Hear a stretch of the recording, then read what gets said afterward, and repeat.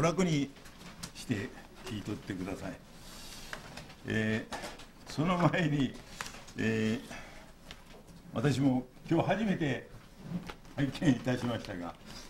東京の朝日新聞の2月の26日金曜ですねこの学芸欄に、えー、海祖様のお写真入りでこんな大きく、えー、20世紀の古典出口直。近代に立ち向かう言葉、えー、現実直視し養う責任考えようと。もうこういう大きな見出しで、えー、ニュース時代を歩くというわけでですね。海津様のお言葉お手先のお言葉がこのように出たということは大変まあありがたいし結局もう一遍正しく大本の根本的な、えー、教えを社会が求めておると見直していこうとかつては不敬罪治安維持法で非国民国賊と言われてきたが考えてみれば小野さんが予言したような出口鬼三郎という得体の知らない巨人がいろいろ 言ったがその通り日本も世界もなってきたなと、まあ、特に、えー、20世21世紀をもうあと1年余りに控えてですねお先真っ暗で人類の行方将来自分がどうなるか、まあ、特に日本が今、えー、ガイドラインというと大変、えー、響きが横文字で一般的には分かりにくい。しかし実際は今の平和憲法を無視してそしてアメリカ一辺倒の日本のまあ独立国というものを対面もなくしてしもうてですね、えー、正常期の一つ星になることを望んどるような上の大和魂をなくした連中の言うなりになりつつあるんですね。でそういう今戦後54年にして一番大事な時だと思うんです。この敗戦のどさくさの時よりはもっと今日我々大本人として本当に考えなきゃならん時でございます。そういう大事な時だけに、えー良い方をしっかりさせていただきたいと念願しております。でそれにはやっぱり我々の神が与えたもうた救いの見教えの根本の現代的な意味というものをしっかり悟らせていただかなきゃいかんですね。でこういう時もっと仏教がちゃんとしとったらね日本人もちゃんと持ちっとします。ちゃんとするということはどういうことかいうとまあ、現代においてですね真実を見抜く力ちょっと物騒なところに行きよったのと言ったらいやこっち行けと。それはちょっとおかしいよと。そういうう一つの方向づけをやらなきゃいかんですね。ところが今の既成宗教特に仏教はあのオウム真理教事件以来もううんともすんとも言わんですね。結局自信がなくなった。ああいう邪教恐るべき宗教の仮面をかぶったテロ集団というのが出てきとるでしょう。ね。そして今も裁判中でしょう。しかし裁判の具体的なそういう内容には触れずにですねもっと対極的な面からオウム真理教は間違っとると仏教の根本精神から言っておかしいということをもっと具体的に示すべきですよこう言うたら。何も言わんですねかえってまあ宗教学者や評論家あたりがですねまあ言うとるんです。だから説得力がないんですね。やっぱり仏教の根本に触れながら本当のお釈迦さんの教えというのはそんなもんじゃなかったと。なんでこんな邪教が出たんじゃと。いうことを仏教の歴史を反省しながらもっと厳しく内輪から批判すべきだと思うんですね。でそれができんっていうのは本当の精神をなくしとるっていうことです。で大元はそれじゃどういう立場で言えるかということはこれは根本的に大変大事な問題です。でそのことについても今日は少しこう触れたいなと思っております。あ入ってない。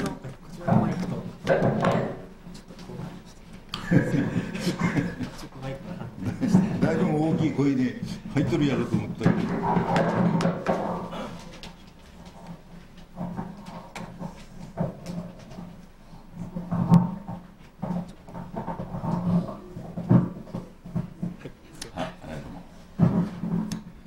えー、お筆先の中に大変深刻な痛烈な批判を既成宗教に対してされてるんですね。それはどういうことかというと大変俗的な まあここら辺の方言といいますかね、えー、言葉ですが接近の中でまんじゅうを食うようなことをしとると。こんな言葉がお手先出るんですね。でこれはあの物語にも出ておりましてねこう一般的にその辞書を引けばその解釈も一通り出とんです。自分だけ隠れていいことをすると。それが一応通説になっとところがもっとあの大元の教えの立場から見るとねそういう常識的な今までの解釈とともにもっと痛烈な批判をされてるということですね。つまりこれは端的に言えばもう心の問題だけ関連的な心の問題だけをなんとか処理して現代のことは知らんこうして自分だけ悟り済ましたらいいんじゃといういわゆる仏教の関連論。これを痛烈に批判されてる。これはこういうお言葉がお腕先から出るということは大変素晴らしいさすがやっぱり海藻様のお言葉やなとやっぱりもちろん国祖がお考えになってまあご内流をいただかれておっしゃるわけでしょうがこういう天才的なひらめきを持って痛烈に端的に既成仏教を批判されるということは素晴らしいことだと思うんです。つまり今までのまあ仏教を端的に言ったらそういう関連論ですね。それを代表するのが本当は夢中問題というのがこれは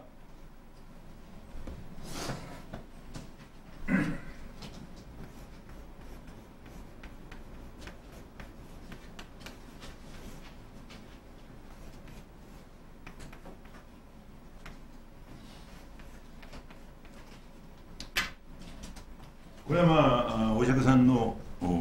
えといいますか、まあ、お釈迦さんの教えは、えー、もう今から2400年も経ってますから、まあ、いろんなもうその俗的な当時の一般の宗教的ないろんな面ももう包括してしもうてなかなか仏教豊かって流派多いし いろんなもんを多次元的に多様性を持って、えー、仏教は成り立っていますからそう簡単じゃないんですね。でしかし聖様もそれを端的におっしゃってで仏教はあれは無神論じゃっちゅうようなことをおっしゃってこれは大変誤解がされると思うんですよね。仏教無神論言うと憂鬱論と違うぞそういうわけで。まあそれはそうじゃけど本当はうんまあお釈迦さん自身はそんなその宇宙の根本に、えー、ダルマみたいなダルマという方ですね。あるいは、まあ、大元で言うた天地を作られた巣の神雨の目中主の狼といいますかそういうそのブラフマンとまあ根本の創造者って言いますかねブラフマンっていうんですね。でそういうのおるもんかと。いう根本的な否定。そしてむしろそういうものによって左右されるんじゃなくて人間は8つの正しい道考えそういうものを悟ってそして宇宙と一体になると。いうそういうまあむしろ哲学的なそういう他力本願的なものを否定してまあくださったわけですね。でこれは大変その当時においては意義があると思うんですよ。これはもう大変な精神革命ですね。つまり、えー、バラモン教を言うてまあお筆先あるいは物語にもしょっちゅう出てくるんですがでこれはまあ穴内教の最大の邪魔する敵ですわね。でそれは、えー、日本にもっとはっきりそれを言うたらいいんでしょうけどやっぱり相当摂様も考慮され遠慮されてあらインドの話やと 世界の話やというふうに全てをこう拡大されたんですね。こんな今から、えー、2400年前にこんな南米の国がどうやとかペルーの国がどうやってそんな 国はあらへんやけど現代に固くしながらあまあ霊界の話やというようにして大変なまあ痛烈な現代宗教批判、まあ、特に日本の間違った神道あるいは既成宗教というものを批判されてる。でそういうやっぱり見方というものもこれはせなきゃいかんですね。今日大事です。生きた教えとして救いの教えとしてやっぱりしなきゃいかん。でそこに大元の遠さ生ける宗教というのがあるわけです。まあそれはさておき、えー、つまりこのお釈迦さんの教えというものはむしろだから哲学的な考えから今までの他力本願的なそして、えー、階級社会といいますかね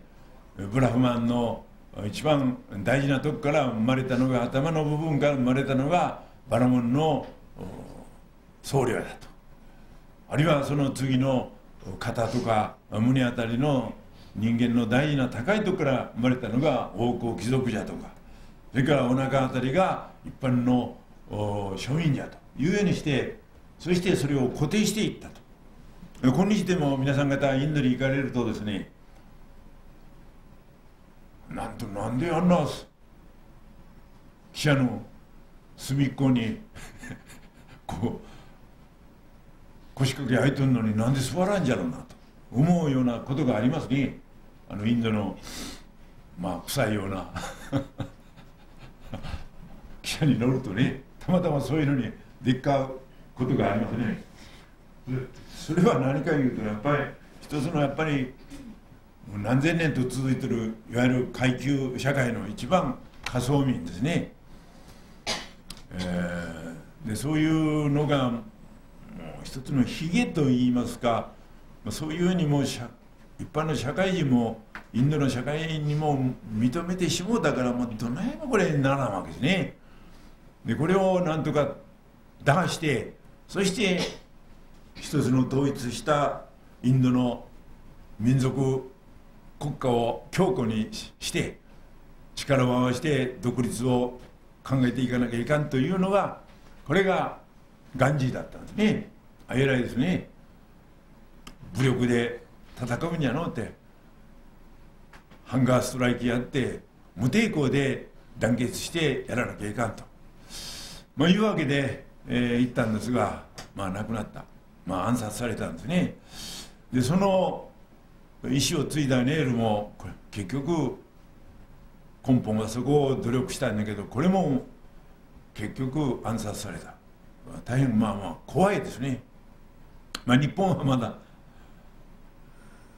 まあ、今物騒にはなっておりますがそういう思想問題で根本的にこう争って暗殺されるっていうのは今戦後はあんまりないですね。戦前はまあ物騒な国やったんでそういうことを考えますときにお釈迦さんの精神というのは実に今日観念論で堕落しておりますが2400年前のインドにおけるお釈迦さんの教えというのはもう現代に当てはまる解放の階級打破の素晴らしい教えだと思いますね。でそういう見方をもちっとなんでたくさん仏教の学者もおるし、うん、偉い人もおるんやけどなんでそういう考えが起こらんじゃろうなと思いますね。でそういう真面目なお釈迦さんの最初の精神を受け取って日本でしたのがこの夢中問答で、うん、これは無双国史ですかね。岩波の新書にもいやあの小さなブックのポケット入りのブックにもありますが。そういうことを見ますと結局心の問題。世間がどうあろうと自分は不動の精神でそして自分の悟りを開くんだという考え方。これを日本でこっぴどく専門的な歴史学の立場で批判していただいたのが上原千六先生です。でこのことについては私のえっ、ー、と何ページやなあ3ですね。3 3の上原千六先生の歴史的小説の新大賞というのがあります。これ単行本で出てる全集にも出ておりますが。でこれはやっぱり今日一番我々も心して、えー、しっかりしなきゃいかんなということを思うんですね。残念ながら戦後。どうも。これは私もひっくるめてですが大本教学は大変弱かった。大本神学いうとなんですけどね。大本の教え自体はもう天与の教えでありながらそれを現代的にどのように一般に分からしていくかというこの努力というものをなんでせんのやったやろうと思うんですね。やっぱり第二次事件の10年のあの裁判でちょっと疲れ果てたいう面もありましょうかね。あるいはもう一つ根本の大元のご経理というものがもう一つ分からんかったんかも分からん。もう一つちゃんと。であんまり分からんからそれを分かりやすくおっしゃったのが聖様のあの吉岡発言ですよ。私はもう断るごとに吉岡発言を言うておりますが残念ながら吉岡発言を本当に特訓だ大本教学長がないんです。でやっとこさこの大本教学の第4号で完結まだしておりません。まあ私は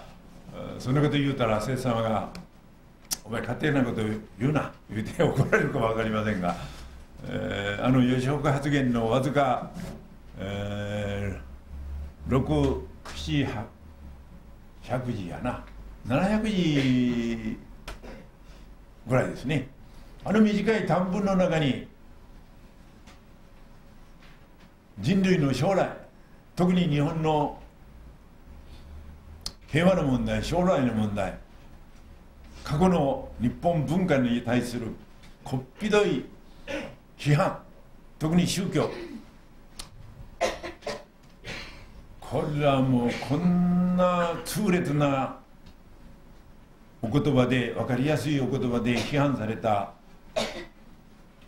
学者評論家政治家はおらんですね。でそれだけ見ても摂様がいかに偉大な方やということが分かりますわ。というのは例えば日本には本当の神様どこにおお祭りしとったんやと。深刻深刻言うてお宮はたくさんあるじゃないかと。特に韓国兵舎のお宮の祭神っていうのは人間ばっかりじゃないかと。人間祀っとるじゃないかと。これはもう大変な痛烈な宗教に対するあるいは日本の文化日本の2000年の根本的な思想信仰に対する痛烈な批判ですね。そこに大元の神様がご出現されたわけです。本当の神様はここじゃと。そこに言い置きにも書き置きにもないことを記すぞよと。お筆先の権威といいますか神ご自身が出現されて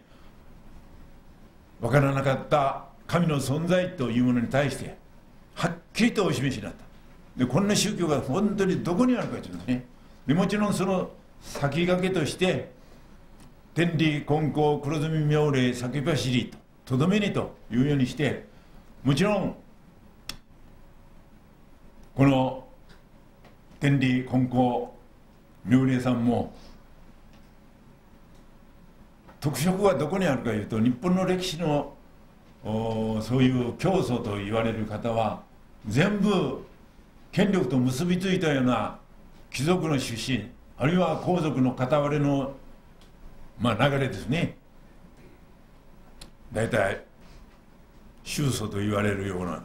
方っていうのは、ね、つまり特権階級ですよ。ですから自由まあ自由でもなかったんけどまあ少し金があってゆとりがあったら中国に留学に行く。で中国に留学行って、まあ、23年もしてあるいはまあ最長あたりは半年しかおらんかった。そしてまあ完璧旅行してそしてまあ無事に帰ると俺はもう大変なプライをいただいた。ね。ねもちろん最初はまあ奈良仏教の反対を受けて、えー、生存中には比叡山は認められなかったけどまあ後でやっぱり日本の宗教の一番元やというわけで、まあ、全部日本の宗祖の方々あたりは、うん、まあ天台最長の門下生理みたいなもんですな。まあそれとちょっと違ったのが弘法大師さんです。これはまああの別の行き方をされたんです。まあそれだからまあ少し経路が変わっとってて弥勒信仰というものを本自らも高野山で入滅されて弥勒さんをお待ちになっとったわけでしょう。でそれは別としてそういう関連的な流れを組んでますからこれはもう一番喜んだのは誰かというとこれは権力者ですよ。だから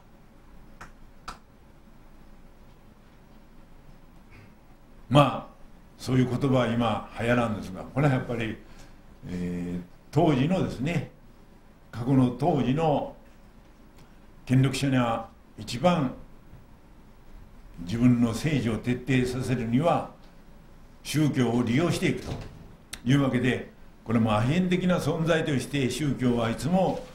愚民政策に利用されてますね。そういうこの歴史というのを考えるときに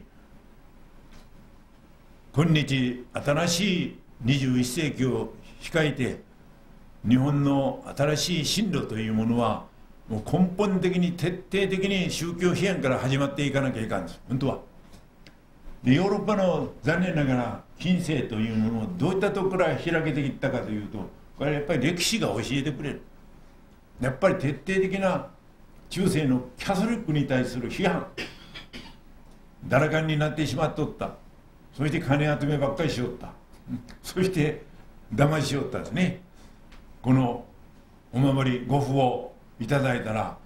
少々悪いことしたかって天国に救ってくれはんじゃ。これなんぼ一つだけ買えよというわけで、まあ、どっかの教団もよくやっておりますわ。ね金集めのために。これは執行部の方も良心的に考えたらえらいことをやったなあちゅうわけですでありがたいことにまあこちらはさすが海藻の大生まれですからそういう面はもう特に厳しいですね。もう絶対無理してお金なんかを集めるようなことしちゃいかんと。おのずから感謝の念を持って気持ちの良い献金をしてもらわなきゃあかんと。いうようなことで大変厳しい。そういう面でまあ俗的には金集めは下手くそです というて神さんのご守護をいただいていますから、まあ、そういう面はあまり心配せんでもええ。もっとご信教の発展のために、まあ、我々はあ勉強し、えー、実践休校していかなきゃいかんと思います。まあよろしくその点でさてですねまあどっかちょっと飛んでしまったんですがうん最近は考えるとなるほどな。今まあ日比谷のカエルどもちゅうとろカエルさんぐらいは泣いたかって別に 外族は流さんけどカエルどころじゃないですよな。ね大手先節操は日比谷のカエルっておっしゃってるけど、まあ、カエルやったらまたかかわいらしいけどいやちょっと毒気があってどうもこのあんまり毒巻いてもろてただ言うだけやので変な悪い法律でも執行してもろたら困るんですね。ほいだから今日大事です。もう自分の金集め票集め人気取り自分の将来。まあたかだかが自分の支援をしてくれる地域の福利厚生もう橋も道路も一応かかったから今度は何しようかなと。まあいうようなことでね、うん、まあそういうそのもう何ちゅうんかねこの政治っちゅうのがもう堕落してしまった。本当は。祭りごとちゅうんかね天の御心を現世に移していくっていうのは祭り合うっていうのはそういうもう素晴らしい政治哲学というものをもう忘れてしまったんですね。残念ながら。本当にまあ大事な物騒な時でございますがそういう時にですね去年から、まあ、特に今のいろんな国会の論戦の模様いうのを見とるとなるほど政治の話やのってあるいは教育の話やのってあるいはまあ自殺の話やので根本は霊魂の問題やなと。やっぱり宗教の問題やなと。そういうことをこう感じるんですね。で特にまあそこにも書いておりますが、まあ、去年の暮れ来はった、まあ、韓国の近代十三のまあ後やった中面もありまして、うん、少し生えなかった。それは江沢民さんがまあ、来はってまああの大洪水やともね黄河が大洪水でも大変な人民たちにも被害を与えあの大変やったからまあさ伸ばさはった。そしてこちらの日本のスケジュールもいっぱいにまあ来はった。そういう面も、まあ、あったかもしれませんが何を一番中国の主席は強調したかと。である面においては大ちゃんが上手に肩透かした。つまり、えー、もう今まではそれはたびたび言うとるんやと。天皇さんも言って、えー、お宅には大変ご迷惑をかけまして私の心の痛むところでございます。い。うような、まあ、謝らはったやないか。とそれをもう一遍書けっちゅうのはこれはもう静止やないかというわけで肩透かして。それでまあ江沢民さんちょっと怒った。そして各自でですね